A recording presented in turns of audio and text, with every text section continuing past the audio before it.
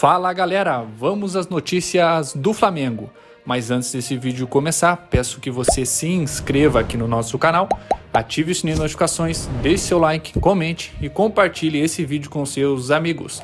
Todas as notícias do Mengão, agora, aqui no Redação Ninho do Urubu.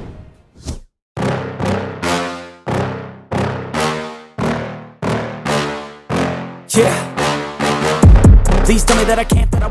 Gustavo Henrique pode estar de saída do Flamengo.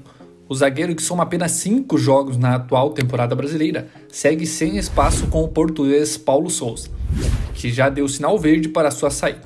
Gustavo chegou ao clube carioca em 2020, depois de mais de uma década no Santos. Porém, no Fla, o defensor nunca conseguiu repetir o nível demonstrado no clube paulista. Apesar de ter feito algumas partidas importantes na campanha do título do Brasileirão daquele ano, assim, agora o jogador pode ser negociado. Jorge Nicola afirma que Paulo Souza avaliou que o custo-benefício do defensor não é viável. Gustavo tem o segundo maior salário do elenco entre os zagueiros, ficando abaixo apenas de Davi Luiz. Desta forma, ainda segundo Nicola, o Flamengo já sinalizou que aceita liberar Gustavo Henrique sem custos, desde que o interessado arque integralmente com os seus salários.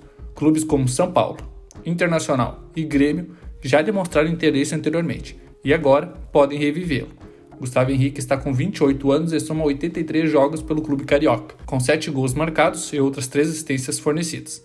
Com a camisa da equipe, soma 4 títulos de destaque: Brasileirão, duas Supercopas do Brasil e uma Recopa Sul-Americana. O Atlético de Madrid está interessado em reforçar o seu elenco e João Gomes, volante revelado pelo Flamengo, é um dos principais alvos da equipe espanhola na janela de transferências no meio do ano. De acordo com o portal Ficharres, o clube espanhol monitora com atenção o volante de 21 anos e prepara uma oferta na casa dos 8 milhões de euros, aproximadamente 41 milhões de reais, para tirar o atleta do Flamengo ainda neste ano. É importante lembrar que João Gomes se tornou titular do time com Paulo Souza, que alçou o atleta entre os titulares na vaga de Andrés Pereiras. E aí, o que, que você acha sobre essa possibilidade de João Gomes sair do Mengão e jogar no Atlético de Madrid? Deixe a sua opinião nos comentários.